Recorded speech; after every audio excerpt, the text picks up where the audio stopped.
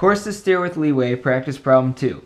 What is the true course to steer between the entrance to Winnapaug Pond and the entrance to Lake Montauk if you're turning 6.5 knots, allow for a current of 295 degrees true at 0.9 knots, and an easterly wind is causing 4 degrees of leeway?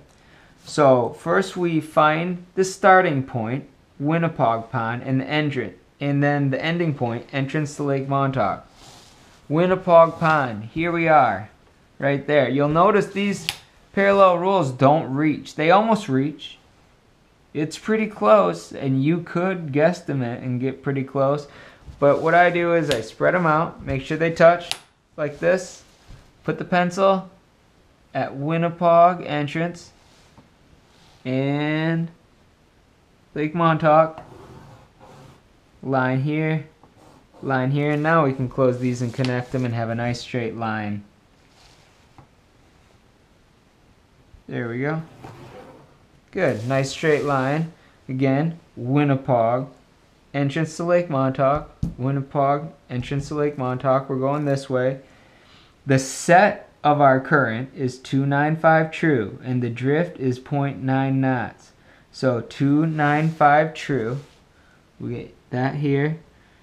295.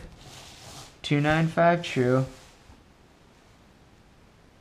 And remember, 295 is from the center of the compass toward 295. So you need to go from your starting point toward 295. It's going to be overland, a little confusing, but what it is is we're placing this 295 this is us accounting for the current. So 295 at 0.9 knots, little less than 1, 0.9. From the starting point down, 0.9, make a mark. Now we have the current in one hour. That's, you can think of it as the average current over this span. In one hour would push us 0.9 nautical miles at a set of 295.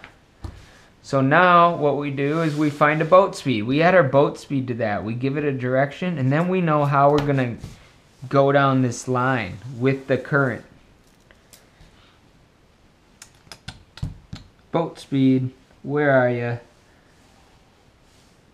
If you are turning for 6.5 knots, that's an old school way of saying your speed is 6.5 knots. So we get 6.5 here.